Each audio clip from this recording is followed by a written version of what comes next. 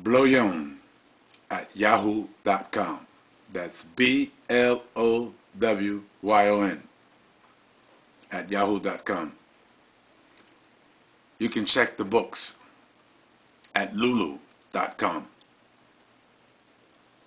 Get in touch with me at Blowyon. Once again, that's blowyon.com.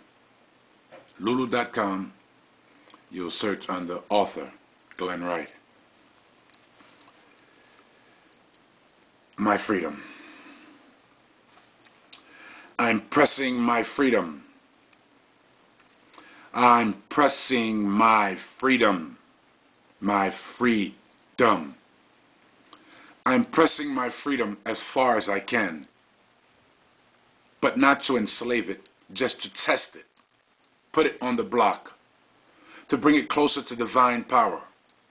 No, I'm not looking for kara akara meaning that would result in scandal.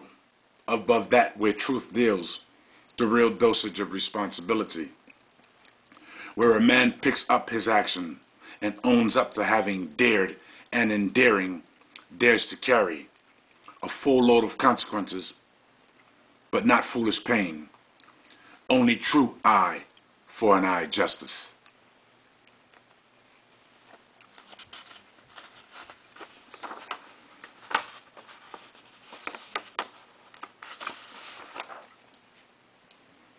Unanswered silhouettes,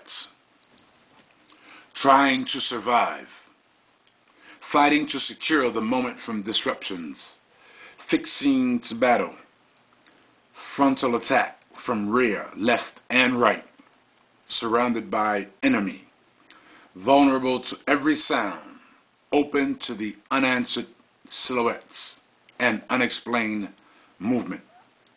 Search the night until the quest begins to pull together the anxious hunger of the invader, taking over the space, re aiming the electrical foe. Holding fear, checking it, begin, initiate, take first step. Centered focus. What's taken me is real, just about to happen. The here and now contains it. The task is to be prepared disposed to quick alert, to forces that are out to subdue you. Look back in centered focus, held together reactions to their combative moves. Play the game without fear.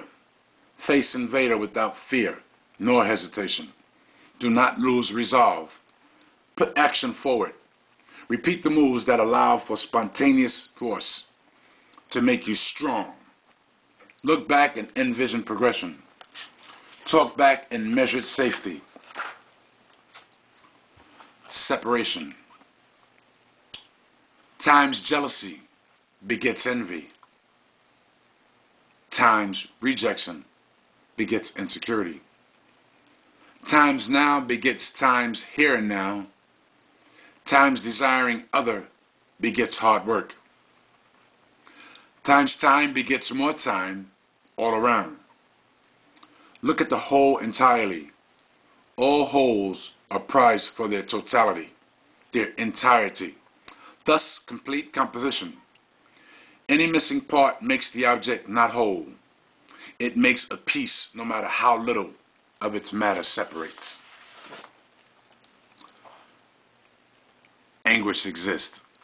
This one I like for most of us out there who suffer from depressions and stress from outside entities. Here goes one. Anguish exists to make pain bearable. I repeat, anguish exists to make pain bearable. Without it, there's inexhaustible despair and aimless travel between opposites that play to rule the mind and heart's emotion. No straight road, just endless turns, circling an unchanging place and time. An absolute sameness that paralyzes, leaving a world bared of actions, stagnant, standing in a fruitless stasis. A suffering that dominates hope. A suffering that dominates hope. And that's what makes anguish basic. It is the ultimate horror, the moment at which the point zero provides empty nourishment. And that's it for today, guys. Each day I will post four or five in a video. Lulu.com, search under Glenn Wright, author. Excerpts, simple excerpts from my book, Life Affirming Poetry. You guys have a good day. And just know that people are alive, not just to be living. They're living to be alive. You guys be good. Bye for now.